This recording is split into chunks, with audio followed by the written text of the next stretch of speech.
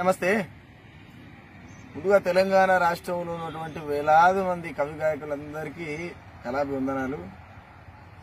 విశేషం ఏమనంటే అనుకోకుండా కాలం కలిపిన సోపతి కలమ్మ తల్లి బిడ్డలం కలిసినాం. మా సైదన్న మా పరశురామ్ అన్న మా నవీన్ అన్న అనుకోకుండా ఒక ప్రాంతంలో కలిసినాం. ఈ కలిసి ఈ కవులు గాయకులు కలిస్తే ఏం గుర్తుకొస్తుంది? ఆ పాట బాగుంది ఈ పాట బాగుంది రాజ్యం ఎటుపోతుంది పరిపాలన గిట్లుంది ప్రజలు ఆగమవుతున్నారు నిరుద్యోగులు చనిపోతున్నారు రైతులు ఆత్మహత్యలు చేసుకుంటున్నారు ఇట్లా రకరకాల సమస్యలు వెళ్తాయి. ఎందుకంటే వీళ్ళు బలిసినోళ్ళు కాదు కదా. ఆకలి పేగుల శోకం తెలిసి రాగాలను తీసి పాటలల్లి ప్రజలకు వినిపించేటువంటి కులం కాబట్టి ఇది మా అందరిది కవి కులం కాబట్టి మేము కూర్చుంటే ప్రజల ముచ్చట్లే మాట్లాడతాం.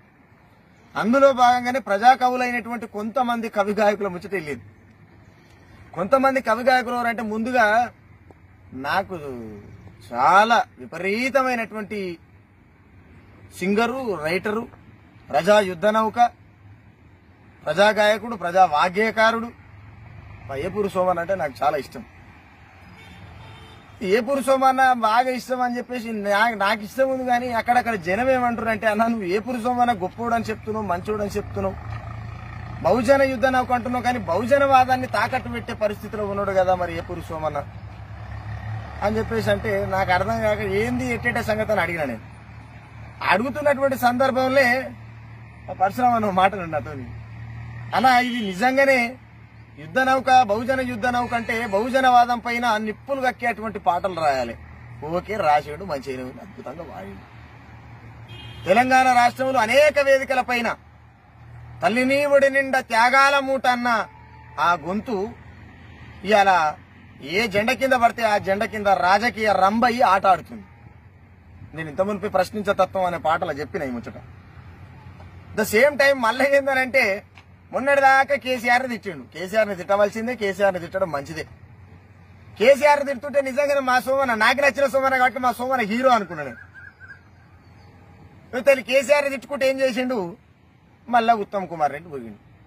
ఎవరి పాలయ్యిందిరో తెలంగాణ ఎవడేరుతున్నాడు రో తెలంగాణ. ఇట్లా కేసీఆర్ అన్నాడు. అమ్మని దండం పెడతాను కడుపు సలగుండా మంచిగా ఉందిరా నాయన అనుకున్నాం. తెల్లారే మళ్ళీ ఏం చేసిండు? ఉత్తమన్న ఉత్తమన్న కాంగురేసు కత్తివన్న. అరే ఇదెక్కడి కథ? మళ్ళా బహుజన యుద్ధ నౌకగాను దూరం తిట్టావు బహుజనవాదాన్ని మాట్లాడి ఓకే ఒప్పుకుంటావు. మళ్ళీ దూరం ఊడుతున్నావు కాదు. అసలు నువ్వు యుద్ధ నౌకవా లేదా ఉద్యన నౌకవా ఇక కిరాణం కొట్టుకుపోతే ఇవాళ ఇవాళ నగదు రేపు ఉద్యర అన్నట్టు నువ్వు యుద్ధ నౌకం అంటావు కానీ సోమన అన్న తప్పులుంటే క్షమించాలి సోమన ఏం లేదు కానీ రైతు చేసం చేసి పాదయాత్రలు చేసి ఇందిరమ్మ రాజ్యం అంటే ఇక ఏ బాధ ఉండదనుకుంటి. ఏ కష్టము ఉన్నా నేరుగా చెప్పమని రాజీవు పల్లె బాటంటే మాకు ఏ రంది ఉండదనుకుంటీ. గాంధీ మార్గం మాది హింస ఉండొద్దని శాంతి చర్చలు చేస్తానంటే పల్లెలు సల్లగుంటాయా అనుకుంటి ఒళ్ళ కాడయింది కొడుక బతుకంత వలపోతే మిగిలింది బిడ్డ. రాజశేఖర్ రెడ్డి రాక్షసుడు అని చెప్పిన నీనోరే. సుమారు నీనోరే చెప్పింది. మరి అలా నువ్వేమంటున్నావు? రాజన్న బిడ్డే నువ్వు రావాలమ్మా. తెలంగాణ నేలనా నడవాలమ్మా. అంటే మరి రాజన్న ముందలాది మంది బిడ్డలు చంపించిండు అమ్మచండి నీకు తెలియదా శాంతి చర్చల పేర పిలిచి ఏం చేసిండు? నీకు తెలియదా మరి ఆయన నువ్వే దొంగ అంటే మళ్ళీ రాజాన లెక్క చేయమంటున్నావు? అంటే మరి ఆమెకి గిట్ట ఇక్కడికి వచ్చి మళ్ళీ రాజాన లెక్క చేయమంటున్నావా? ఈ ప్రజల్ని తెలంగాణని మళ్ళీ ఒకసారి ఆగం చేసిపోవన్నవా ఈ తెలంగాణ రాష్ట్రం ఆంధ్ర నుంచి విడిపోవడం కోసమే పన్నెండు వందల మంది బిడ్డలు బలిదానం చేస్తే వాళ్ళ మీద అద్భుతమైనటువంటి పాటలు రాసిన ఏ పురుషమన్నావు కదా నువ్వు? కేసీఆర్ని వ్యతిరేకిస్తందుకు ఇలా పాట తూటగా పనిచేసినావు. ప్రతిపక్షమే లేనప్పుడు ప్రతిపక్షమై పనిచేసినావు. మళ్ళీ ఏమైంది ఏమంటారు కదా వెనకటి సామెత ఉంది. మతి గతి తప్పితే ఒళ్ళు వండు కూసుకున్నట్టు అవుతుందట ఇక ఆడు ఏడవండి తెలియదు కదా మతి తప్పినాక ఏం చేసినా ఆడు బురదల మాతాడు ఏడైనా మాతాడు కాబట్టి నేను ఒకటే అంటున్నా ఒక్క సోమన్ననే కాదు ప్రజా గాయకుల గాయకులమని చెప్పుకొని బతుకుతున్నటువంటి ఎంకన్న కావచ్చు రసమయ్యన్న కావచ్చు గద్దారన్న కావచ్చు. ఇట్లా చెప్పుకుంటా పోతే చాలా మంది ఉన్నారు. ఎందుకు నేను గద్దార అన్న ప్రస్తావన తేవద్దు కానీ ఎందుకు తెస్తున్నా అంటే గోరెటెంకన్నకి ఎమ్మెల్సీ పదవి ఇవ్వగానే పాలనాధ్యక్షుడు కేసీఆర్ పరిపాలనకు ఆయన అయితేనే కరెక్ట్ అన్నట్టుగా ఒక ప్రకటన చేసిండు. ఎవరు మన గద్దారన్న? కొంతమంది నేను ప్రశ్నించే తత్వం పాట రాసిన తర్వాత కొంతమంది ఏమన్నారు ఏదేమైనా సరే ఎవరి మీద రాసినా సరే కానీ గద్దారన్న మీద రాసేది లేకుండా పాట అంటేనే ఆయన కదా అన్నారు పాట అంటే ఆయన నేను కాదంటలేను. ఆయన ఆహా ఓహో అంటే ఇని నేర్చుకున్నా నేను ఇట్లా. ఆయన మా గురువే నేను కాదంటలేను. కానీ వయసు అయిపోయిందని చెప్పి ఆయన సపోర్ట్గా మాట్లాడుతున్నటువంటి కవి గాయకులు వినాలి ఒకసారి. వయసు అయిపోయిన ఆయనకి ఈయన పాలనాధ్యక్షుడు అనేట తెలిసింది. మరి వయసు అయిపోయిన ఆయనకు పాలనాధ్యక్షుడు అని తెలిసినప్పుడు ప్రజల కష్టాలు అవపడతలేవా? ప్రజల గురించి ఒక మాట మాట్లాడరాదు రేపు బయటకు వచ్చి. ఈ గల్లి చిన్నది గరీబోళ్ళ కథ పెద్దది. ఇలా నాకు ఎమ్మెల్సీ పదవి వచ్చింది నా జోలు అయితే నిన్నది. ఇదా లెక్క. వరంగల్ సీనన్న పాట లేకపోతే ఓయమ్మ తెలంగాణ పల్లె. ఈనాడు ఎందుకింత చిన్న బాయ్ అని తెలంగాణ ధూమ్ధాంలు ఎగిరెగిరి పాడినమా? ఎవరు రసమే అన్న. వరంగల్ సీనన్న పాట లేకపోతే నీకు పుట్టకథలు ఉన్నాయా అన్న? ఇలా వరంగల్ సీనన్న ఎట్టుండు? మీరెట్టుర్రు. ఇట్లా చెప్పుకుంటా పోతే చాలా కథలు ఉన్నాయి ఏదేమైనా ప్రజా కవులు అనుకునేటోళ్ళు మీరు రాజ్యం వైపు ఉండాలనుకుంటే ఉండరు. ఈ రోజు జరుగుతున్నది కాదు కవు- కవులు ఈ తెలంగాణ రాష్ట్రంలో గత వెయ్యేళ్ళ నుంచే గత వెయ్యేళ్ళ నుంచే కవులు గాయకులు రెండు వర్గాలుగా విభజించబడ్డారు ఇక్కడ. ఎందుకు అనంటే రాజ్య పరిపాలకుని రాజ్య భోగాలని రాణి నడిచిపోతుంటే వయ్యారమైనటువంటి గాలికి ఊగే కురుల గురించి రాసేటువంటి అద్భుతమైనటువంటి కవులు దొరల దగ్గర మిగిలిపోయారు.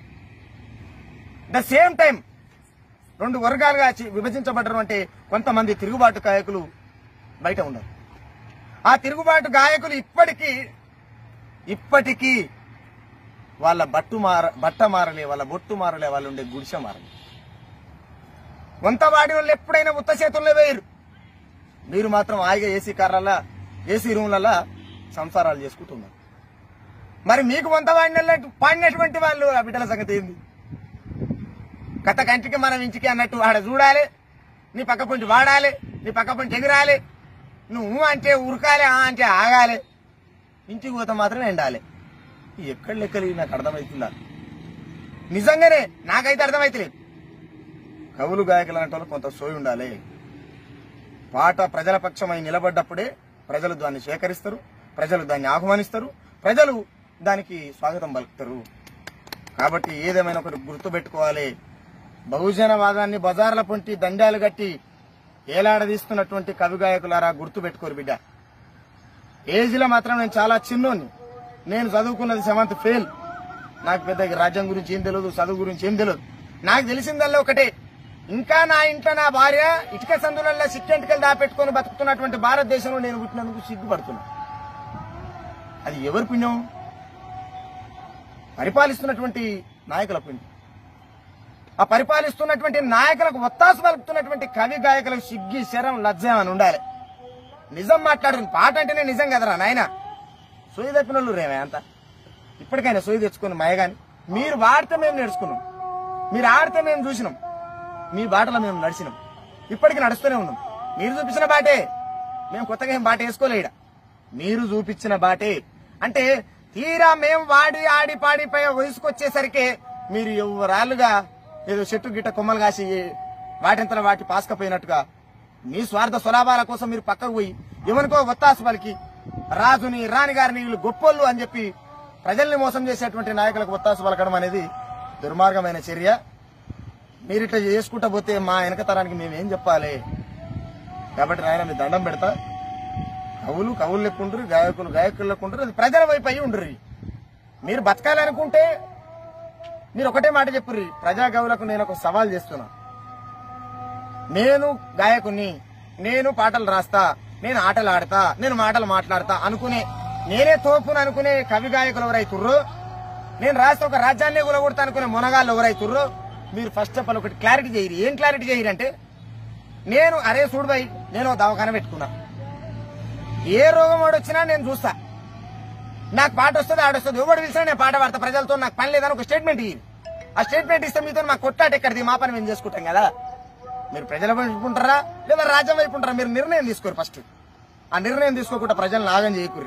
పాట ప్రజల పక్షమై ఉండాలి. పాటే పోయి ఈ పా- ఏమంటారు చూడు పాస్పండ్ల దాసరి చేస్తే బాగుండదు. కాబట్టి ఇప్పటికైనా జర నీతి నిజాయితీ ఉంటారు మయ గాని. ఇంతసేపు మేము ఇక్కడ నిలబడి ఎందుకు ముచ్చట చెప్తున్నాం అంటే కలిసినాం కాబట్టి ఈ కలమ తల్లి బిడ్డలం మళ్ళీ ఏదో మెసేజ్ చెప్పాలి కదా. మళ్ళీ ఇడికి వెళ్ళిపోతే ఎవరు మేడం ఉంటామో తెలియదు ఎవరు ఏ టైంలో కలుస్తామో కూడా తెలియదు కాబట్టి అందుకే కలిసినప్పుడే చెప్పాలనే ముచ్చట చెప్తున్నాం అన్న. తప్పులుంటే క్షమించాలి సోమన్న ఎంకన్న రసమయ్యన్న. తప్పులుంటే క్షమించండి మేము మీ బిడ్డలమే. మీ నుంచే వచ్చినాం. మీరు తప్పులు చేస్తున్నారు అందుకే మాకు బాధ అవుతుంది. మీరు తప్పులు చేయకుండా తమ్మి గిడ కొట్లాడదాం రా మీతో పాటు మేము వస్తాం. కానీ అది ప్రజా సమస్య అయి ఉండాలి. పైసల సమస్య కాదు.